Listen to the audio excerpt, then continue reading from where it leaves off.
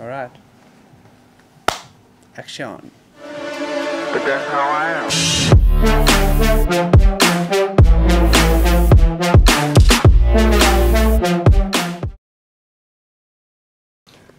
Hello, Josh. Hey, how's it going, Shane? How are you? Yeah, I can't complain on a day like today. Well, it was quite cool. Sort of felt like at home. Nice thunderstorm. Good. Don't often see those in Cape Town, but yeah, a little break between the winds. Yeah, a day of all weather, I'm sure. Thanks for joining us here at Atlantic Surf. Yeah, super, Um, super stoked to be here. Yeah, we're excited uh, for the season ahead and to learn and to engage a little bit more with kiting this year. Um, I would like to learn from you any exciting craft or elements you've been experimenting the past year or season to come. Um, yeah, I mean, obviously, in the progression of kiting sides of things, uh, the sport's come a long way in the last six to eight months, you could even say. Um, in terms of core, um, always new products as core releases products every two years. Um, we don't release products on a yearly basis. Well, we do, but they're different models that would come out. Um, so, for example, this year we released the new Nexus 3 as well as the, the Choice 5 behind us. Um, and then, yeah, obviously there are new new products that are coming, uh, which that I can't really talk about.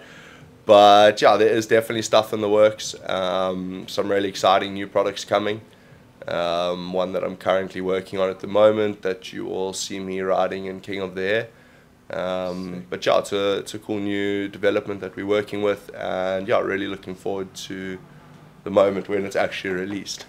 Um, but yeah, it's always hard holding back on Yeah. on the information that everyone wants to know. Yes, I'm sure it's exciting, and I mean, for me, what um, what does Core give to you other than other brands in a way? Like, what do you find uh, beneficial from the Core brand and just the quality of the product?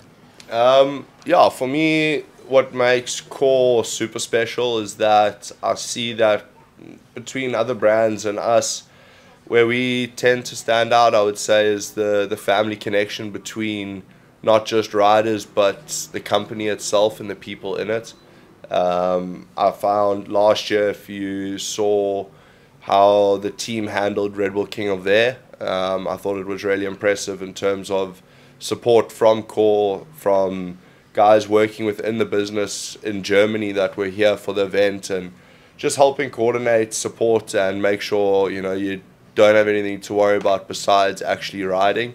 Um, so in terms of knowing that all your gear is right and having all your gear, um, yeah. Then other things that obviously make core special to me is the quality of the product um, and what the kites are capable of doing.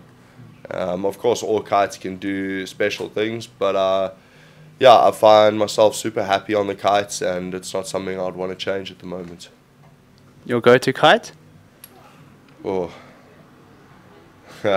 um, probably the one I'm working on, but second to that, I would definitely say XR at the moment. It also depends. I mean, it's like one of the most common questions I get asked Where's your favorite place to go? What am I doing? Am I going for wave riding? Am I going to do big air? Um, am I doing strapless freestyle? You know, what, what is the objective of the session? And that again comes what's my favorite setup? well, what, what do you want me to go do? That would be my first question because obviously for big air, my first choice would obviously be to go down to the XR. Um, the XR is a fantastic jumping kite. Um, it's also really great in loops. So it's it's quite an all-round kite um, in terms of what it can do. Uh, obviously in waves, it's not the most spectacular. But yeah, then if you were asked me to go for a wave session, I would probably go Nexus or Section um, as my two options. And then yeah, for looping, definitely GTS. GTS. Um, it's a nice performance kite, um, and it loops really well. Got a lot of power, and the recovery on the kite's extremely well. It's good to have a brand which meets all the fields and requirements. I'm sure. Yeah, definitely. I mean, a lot of brands have quite a few different kites to ride, um, and I think it's just important that you know you don't obviously have too many.